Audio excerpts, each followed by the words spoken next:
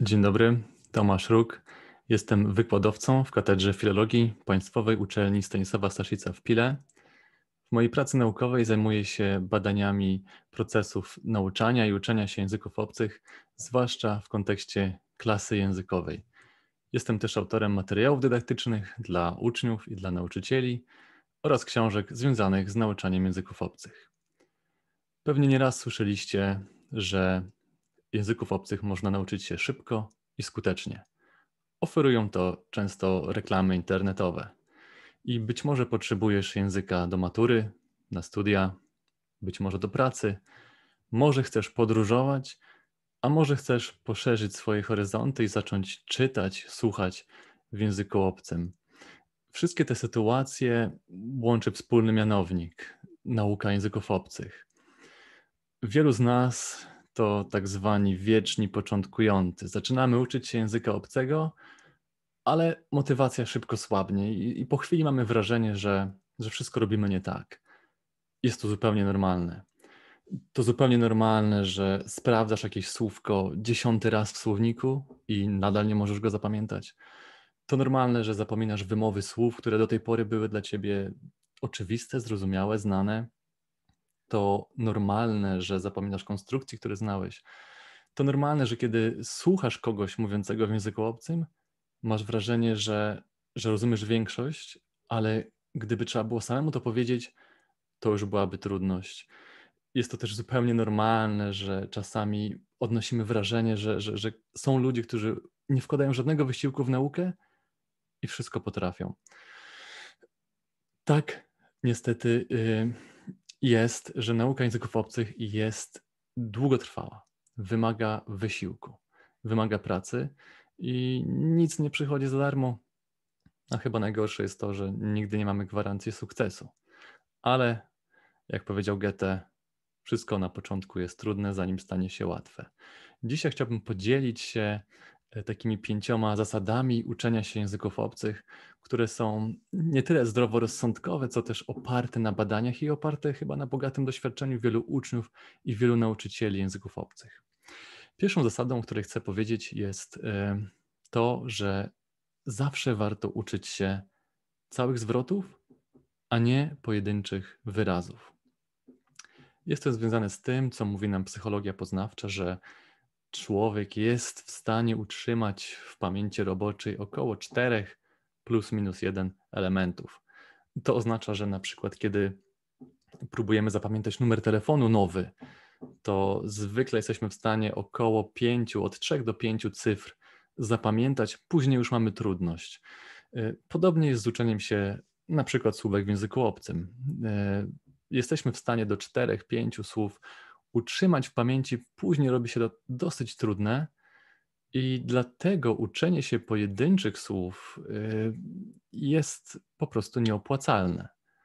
Dużo lepiej jest nam nauczyć się takiego zwrotu, jak co u ciebie słychać, zamiast uczenia się najpierw słowa co, potem u, potem u ciebie i na końcu słychać. Zresztą 80% y, naszej komunikacji opiera się właśnie na takich skonwencjonalizowanych, utartych formułach. Kiedy mówimy po pierwsze, kiedy mówimy skądże znowu, to są takie utarte zwroty, które po prostu przywołujemy z pamięci automatycznie. I, I tak samo działa to w każdym innym języku, nie tylko naszym ojczystym. Jeżeli nauczymy się gotowych zwrotów, będziemy po prostu bardziej płynni, bo będziemy je przypominać sobie, przywoływać z pamięci w całości, ponieważ one są gotowe te zwroty, to też zyskujemy na poprawności. Dużo łatwiej nam jest raczej łączyć zwroty ze sobą niż poszczególne słowa. Dlatego, zwłaszcza na początkowych etapach nauki, warto uczyć się pełnych zwrotów, a nie pojedynczych słów. Zyskamy na poprawności, zyskamy na płynności, zaczniemy się szybciej komunikować. E, druga rzecz, o której chcę powiedzieć, to zawsze warto znaleźć dobrego nauczyciela. Wbrew temu, co możecie usłyszeć znowu czy przeczytać w internecie, e, do pewnego momentu jesteśmy w stanie uczyć się z aplikacji, z samouczków i, i na pewno są osoby, które są samoukami. Natomiast wiemy z doświadczenia, że przychodzi taki moment, że ten nauczyciel staje się niezbędny, że potrzebny jest ktoś, kto na przykład wskaże nam błędy, jest potrzebny ktoś, kto pomoże nam wytyczyć y, dalsze cele. Co to znaczy dobry nauczyciel? Po pierwsze, musimy sobie uświadomić, że nie każda osoba, która mówi dobrze w języku obcym, będzie też dobrze w stanie nauczyć tego języka obcego. Obok tych kwestii merytorycznych, ważny jest też talent pedagogiczny, który w mniejszym lub większym stopniu mamy bądź nie. Dobry nauczyciel to taka osoba, która przede wszystkim usiądzie z tobą, wysłucha cię, porozmawia, yy, zrobi analizę potrzeb, nawet jeśli nie będziesz tego świadomy, świadoma, yy, będzie wiedział, po co się uczysz języka, no bo po coś się uczysz. Jeżeli jesteś yy, w szkole ponadpodstawowej, to pewnie Twoją główną motywacją jest zdanie matury z tego języka, ale ludzie mają bardzo różne motywacje i dobry nauczyciel będzie w stanie to wychwycić i będzie wiedział wtedy, jak pokierować tym procesem dydaktycznym, aby jak najwięcej z niego wynieść. Dobry nauczyciel rozpozna Twoje strategie uczenia się i zaproponuje też nowe. Dobry nauczyciel nauczy Cię, jak się uczyć. Dobry nauczyciel y, zmotywuje cię do komunikowania się w języku obcym jak najwcześniej, od jak, najszybciej, jak, jak najwcześniejszych lekcji. Y, nie zasypie cię toną kserówek, y, da ci czas na to, żeby we własnym tempie nabywać, przyswajać bądź uczyć się języka obcego. Trzeci punkt to taki być może truizm, ale no, trening czyni mistrzem. I dlatego y, nie zapominajmy o tym, że zawsze trzeba ćwiczyć język i dbać o swoją motywację, bo uczenie się tak naprawdę wymaga aktywności uczącego się, a nie nauczyciela. Nikt tego za nas nie zrobi. Dlatego dużo ćwicz, ćwicz przed lustrem, ćwicz z koleżanką, z kolegą, zapisz się na kurs języka, e, dużo czytaj, czytaj uproszczone książki, czytaj poradniki, czytaj podręczniki, blogi, e, czytaj posty w mediach społecznościowych, tweety i tak dalej. E, dużo mów, mów sam do siebie, mów do znajomych, rozmawiaj przez Skype'a, rozmawiaj dużo i na tematy, które Cię interesują. E, wymyślaj dialogi, wymyślaj scenki, odgrywaj je, odgrywaj je w głowie, odgrywaj je na głos, improwizuj. Pisz też w języku obcym, kiedy tylko możesz, kiedy stoisz w kolejce, wymyślaj zdania, pisz je sobie w telefonie, w restauracji, pisz na serwetce.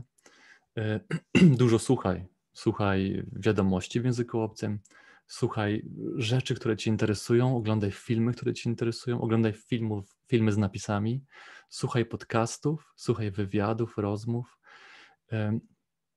Nie przestawaj e, dbać o swoją motywację Wyznaczaj sobie jakieś małe cele, dawaj sobie nagrody za naukę.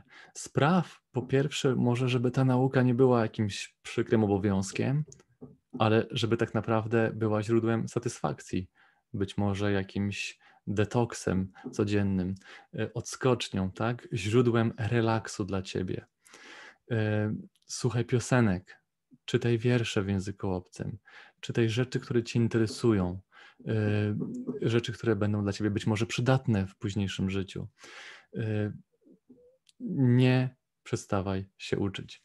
Y, no i też nie nastawiaj się jednocześnie na szybki sukces, bo tak jak powiedziałem, nauka wymaga czasu, tworzenie takich śladów pamięciowych wymaga czasu i pracy długotrwałej. Przede wszystkim czerp radość z nauki. E, czwartym moim, czwartym moją zasadą, wiemy już dużo o pamięci ludzkiej. Mamy całą dziedzinę nazywaną psychologią pamięci. Ona nam mówi o tym, co jest skuteczne, co się opłaca i co warto robić. No i wiemy dzisiaj takie rzeczy, że najlepiej zapamiętujemy to, co jest na początku i na końcu. To oznacza, że na przykład uczniowie wychodząc z lekcji najlepiej pamiętają to, co było na początku, kiedy lekcja się zaczęła i jak lekcja się skończyła. Jak to przełożyć teraz, jak to wykorzystać? No przede wszystkim trzeba zadbać o to, żebyśmy, żebyśmy mieli ucząc się dużo początków i dużo końców. Czyli być może krótsze sesje nauki, częściej przyplatane przerwami. To spowoduje, że będziemy więcej razy zaczynać i więcej razy kończyć. Y, to, co odnosimy do własnych doświadczeń, też zapamiętujemy lepiej. Dlatego personalizujmy zdania, tak? Opowiadajmy historyjki o sobie, mówmy o tym, co nas dotyczy, mówmy o naszej codzienności, o tym, co nas dotyka, co nas y, inspiruje, o tym, co y, czasami może też o negatywnych rzeczach, które doświadczamy, tak? To zresztą łączy się częściowo z innymi odkryciami psychologii pamięci, że uczymy się i zapamiętujemy lepiej, kiedy odnosimy nowe informacje do tych, które już są nam znane. Mówiąc najprościej, w przypadku nauki języka warto jest połączyć to, co już umiemy, z na przykład nowym słownictwem. Albo jeżeli nas coś interesuje, y, albo mamy jakąś wiedzę na dany temat, to też łączymy to z nauką języka. Przykładowo, jeśli interesujemy się budownictwem, no to oglądajmy programy związany z budownictwem w języku obcym. Jeśli interesuje nas motoryzacja, czytajmy magazyny motoryzacyjne w języku obcym. Jeśli interesuje nas, interesują nas gry komputerowe, no to, to szukajmy tych informacji o grach komputerowych, komputerowych, ale w języku obcym. Zapamiętujemy też lepiej to wszystko, co się w jakiś sposób wyróżnia, tak? co jest inne. W języku obcym możemy wykorzystać obrazki, E, możemy wykorzystać kolory, możemy wykorzystać różne kroje czcionki, możemy wykorzystać gesty, możemy wykorzystać ruch, tak? To nauka języka obcego nie oznacza siedzenia w ławce. Możemy tak jak aktorzy, którzy się do roli przygotowują, tak? Oni chodzą, gestykulują, oni mówią różnym tonem. E, czasem podnoszą głos, czasem mówią ciszej, czasem szybciej, a czasem wolniej. Urozmaicajmy tę naukę. E, twórzmy może opowiadania, historie, scenki wymyślajmy, które są nietypowe, niecodzienne, może zabawne, może straszne, w każdym razie inne od tego, co na co dzień. Y, zapamiętujemy też to, co budzi w nas jakieś emocje. Dlatego znowu warto zadbać o to, żebyśmy może oglądali filmy, które nas bawią w języku obcym, żeby wymyślać y, opowiadania, które są związane z naszymi doświadczeniami, mówić o tym, co nas dotyka, co nas porusza, co nas bawi albo co nas martwi, ale coś, co jest związane z emocjami, zawsze będzie lepiej zapamiętane. No i zapamiętujemy wtedy dobrze, kiedy powtarzamy na, na różne sposoby.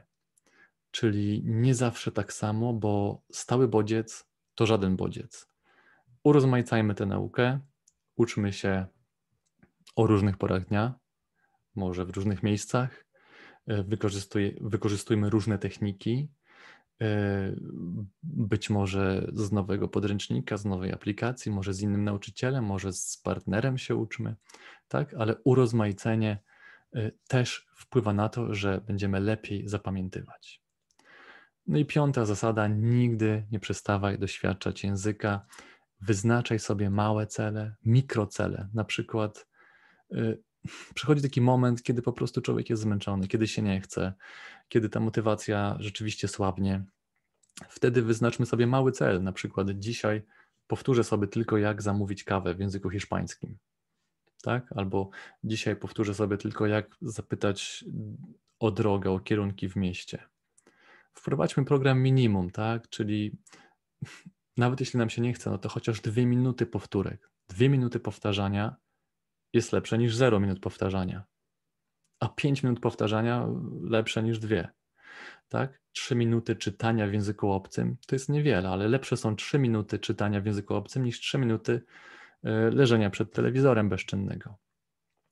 Kiedy brakuje nam tej motywacji, tak? Właśnie wykorzystujmy to, co już umiemy. My nie musimy się codziennie, stale uczyć czegoś nowego. Możemy po prostu bazować na tym, co już umiemy, i to daje ogromną satysfakcję, tak? Kiedy możemy coś przeczytać, coś usłyszeć, posłuchać jakiegoś programu w języku obcym, bazując na tym, co, co, co już umiemy, na, na naszych osiągnięciach. Słuchajmy piosenek w języku obcym. Może nauczymy się wiersza na pamięć, może nauczymy się jakiegoś łamańca językowego, może połączmy naukę online z nauką offline a może warto spróbować jakiejś nowej aplikacji do nauki języków obcych. Jest ich bardzo dużo na rynku. Być może czytanie audiobooka, tak? Słuchanie audiobooka tak naprawdę. Możemy to robić prowadząc samochód, możemy to robić ćwicząc na, na siłowni. Pamiętajmy jednak, żeby warto, że, że zawsze dobrze jest dobrać y, też poziom języka, żeby to było wystarczająco zrozumiałe dla nas i żeby było też interesujące, bo tak jak mówiliśmy, lepiej zapamiętamy, kiedy coś nas intryguje, interesuje, niż gdybyśmy mieli słuchać na przykład audiobooka o rzeczach zupełnie niezwiązanych z naszym życiem. Y, przypominajmy sobie stale, po co się uczymy, bo po coś się uczymy ustalmy sobie jakiś prosty, nieprzytłaczający harmonogram nauki języka obcego. Możecie sobie zmienić język w telefonie na taki, który używacie. Y, notatki można krótkie pisać sobie jakieś y, notatki typu moja ulubiona zabawa w dzieciństwie, albo jakie mam plany na jutro, albo jakie ważne rzeczy muszę zrobić. Y, pisz sobie krótkie listy zakupów, ale w języku obcym. Kiedy sobie zaparzasz kawę, opisuj krok po kroku, co robisz, parząc tę kawę, ale w języku obcym. E, można sobie zrobić fiszki jakieś do nauki języka obcego. E, można odwiedzić kraj docelowy, jeśli jest taka możliwość. Można dowiedzieć się mm, jakichś informacji dodatkowych o tym języku obcym. Na przykład, ile osób mówi nim jako językiem ojczystym, albo jakie największe trudności mają uczący się tego języka. Zawsze też warto porozmawiać ze swoim nauczycielem, nauczycielką. Oni na pewno e, wskażą ci jakieś e, drogę, wyznaczą może nowe cele nauki to wszystko pozwoli przełamać impas. W każdym razie miej świadomość, że nauka języka e, to nie jest coś, co można zrobić z doskoku, że jest to tak naprawdę zadanie na całe życie. Chociaż może zadanie to jest znowu przerażające słowo powiedzmy, że nauka języka to jest styl życia, tak? To jest coś, czym, czym można żyć. I raz jeszcze powiem, to może być świetna odskocznia od codzienności, to może być źródło relaksu. Na koniec e, wypada mi chyba życzyć powodzenia w nauce języka. E, to nie jest tak, że to przyjdzie łatwo, ale też nie można się zniechęcać, bo tak naprawdę y, czasami słyszę osoby, które mówią, że uczę się 5 lat języka obcego i, i nic nie umiem. Ja wtedy zadaję pytanie, tak naprawdę 5 lat, co to oznacza? To oznacza czasami dwie lekcje w tygodniu, a gdybyśmy to sumowali, to nagle z tego robi się miesiąc intensywnego kursu. Kiedy zacząć się uczyć języka najlepiej? Najlepiej wtedy, kiedy się go nie umie. No i też warto sobie uświadomić, że jeżeli ktoś nam obiecuje za duże pieniądze, że nauczymy się języka obcego szybko, to prawdopodobnie chce nas oszukać. Dlatego bez zbędnego filozofowania zacznij uczyć się języka teraz. Życzę powodzenia, trzymam kciuki i dziękuję za uwagę.